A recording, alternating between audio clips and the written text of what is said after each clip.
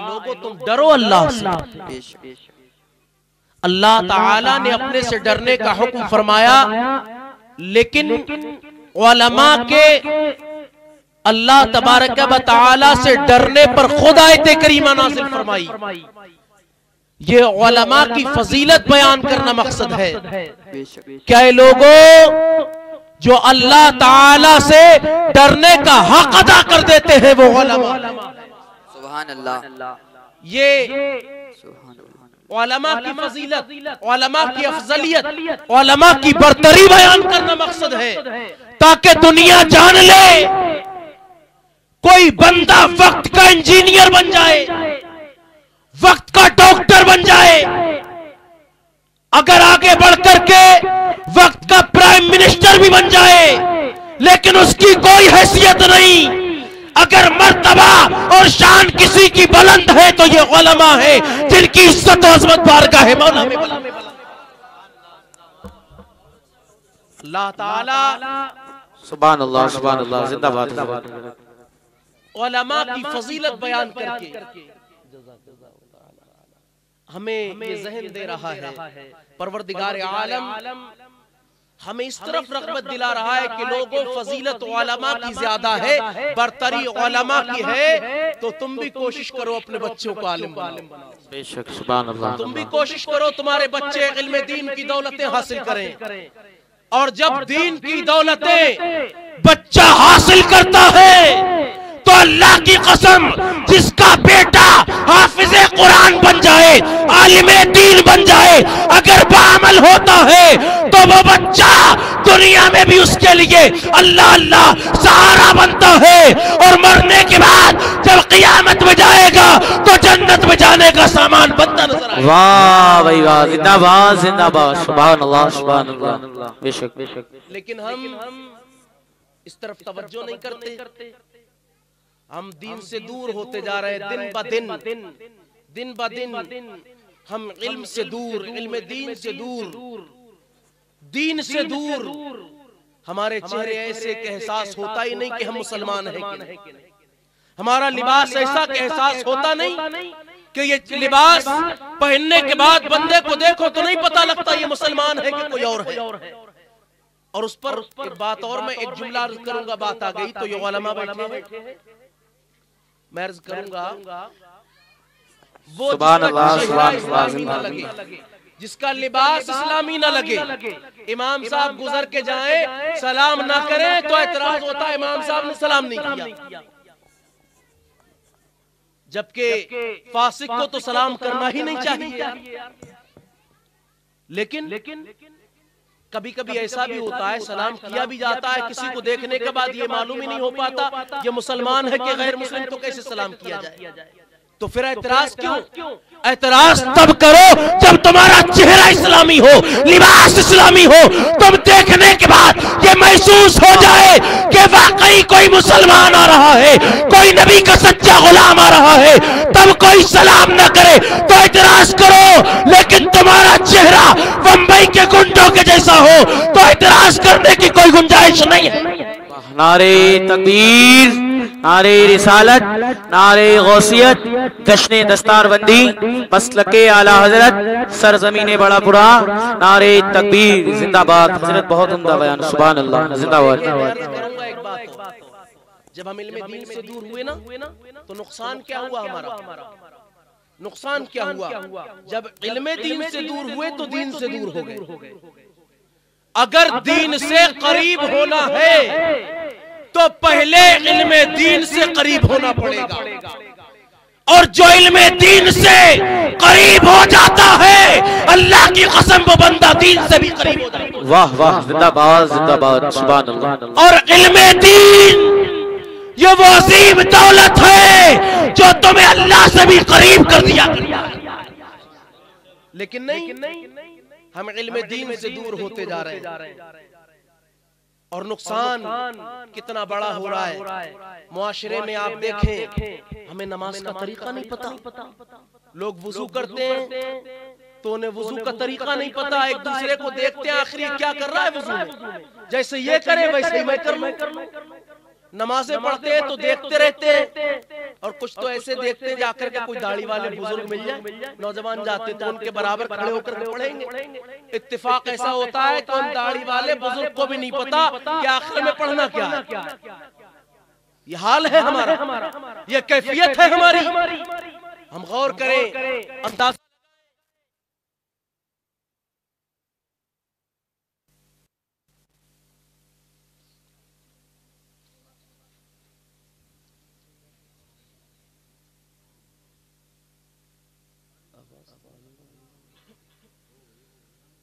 दुरुशरी पढ़ लो अल्लाहुम्मा सल्ली अला सय्यिदना व मौलाना मुहम्मद महदिल हम गौर करें सोचें कहाँ पहुँच गए हम दुनिया हमें हमें दुनिया मिटाना चाहती है दुनिया हमें तबाह करना चाहती है और हम ख्वाब गफलत में हैं हमें एहसास नहीं हम सिर्फ़ ये सोच रहे हैं और हम में 80 परसेंट लोगों का हाल तो ये है सुबह को निकलो कमा कर के लाओ शाम को खाओ सो जाओ फिर सुबह उठो कमाने चले जाओ। कोई मतलब नहीं ना दीन से ना इल्म दीन से ना नमाज़ से ना रोज़े से ना मिल्लत से। कि आखिर क्या होगा इस कौम का? कोई परवाह नहीं करता। और जो कौम की परवाह करके अपने कदम को आगे बढ़ाता है ऐसा भी होता है कि लोग उसकी टांगे खींचने पर लग जाते हैं। ऐसा हो रहा है लेकिन हम हम ख्वाब गफलत में हर जगह हमें मारा जा रहा है सताया जा रहा है। हम जब दीन से दूर हुए ना तो हमें नहीं पता कि हमारे नबी की सुन्नतें क्या हैं। हमारे नबी सल्लल्लाहु ताला अलैहि वसल्लम का किरदार क्या था नहीं जानते हम। मैं अर्ज़ करूँ आज एक मुआशरे में बहुत बुरी बवा जो फैली हुई है ना। वो है तलाक। सबसे ज़्यादा आज तलाक होती है। आज आप आज से 20-30 साल पहले कहाँ सुनते थे इतना के तलाक होती है? बुज़ुर्ग बताते कि पहले कोई तलाक होती ही नहीं थी। कहीं इत्तेफाक ऐसा होता कि कोई तलाक हो जाती और आज तो हर बस्ती में का ऐसा मामला मिल जाता है जहाँ तलाक होती वजह क्या है? पटती नहीं। मामलात नहीं मिलते।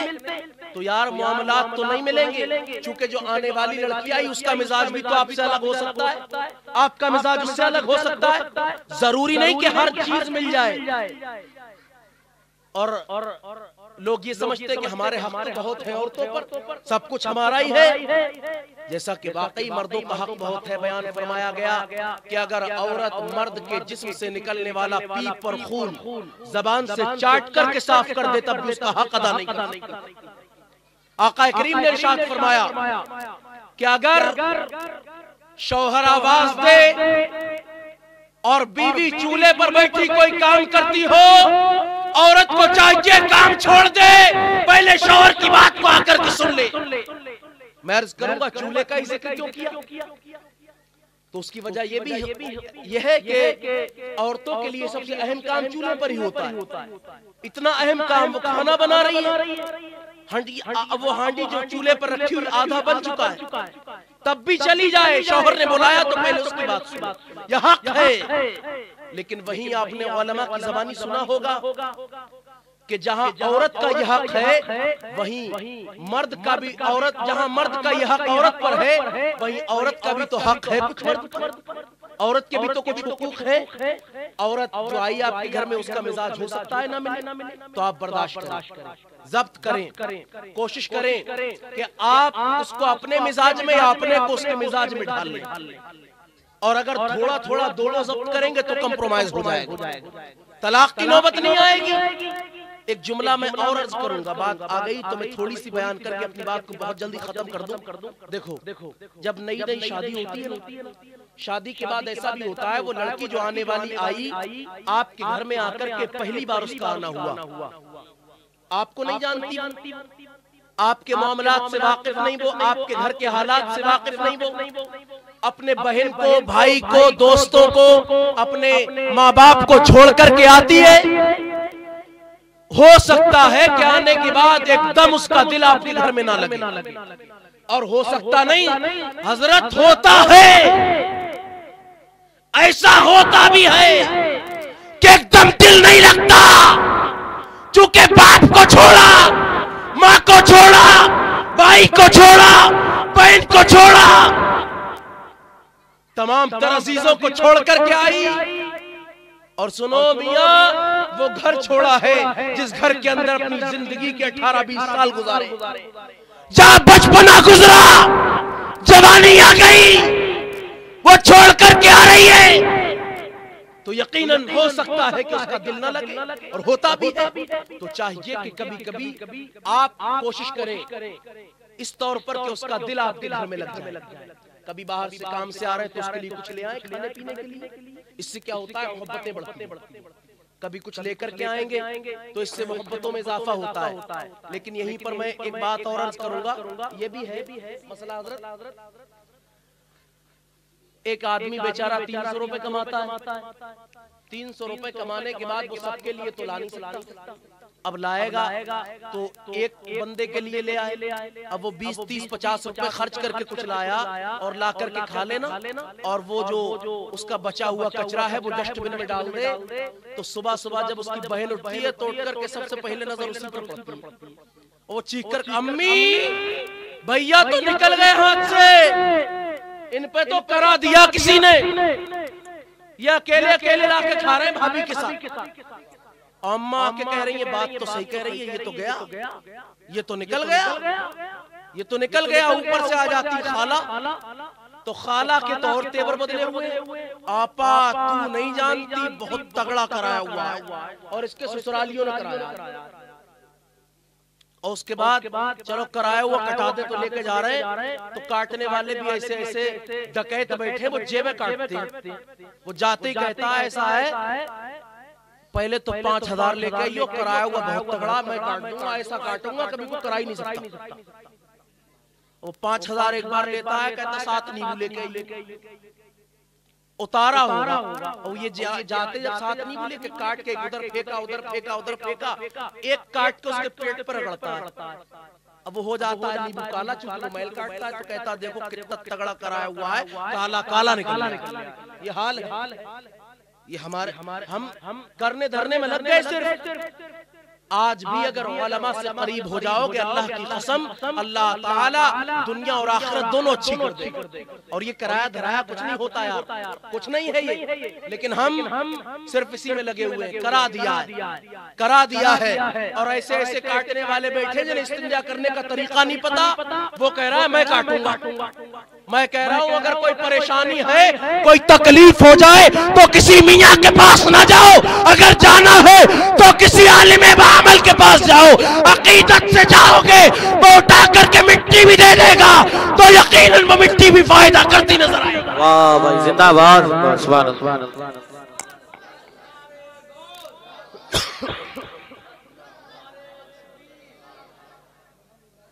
लेकिन हम ओलमा के पास नहीं जाते चूँकि मियाँ जो मियाँ चल रहे हैं ना आजकल ये बड़ा बड़ा बहका देते तुम्हें नहीं पता बहुत बड़ा है वो मौलाना क्या जाने काटना।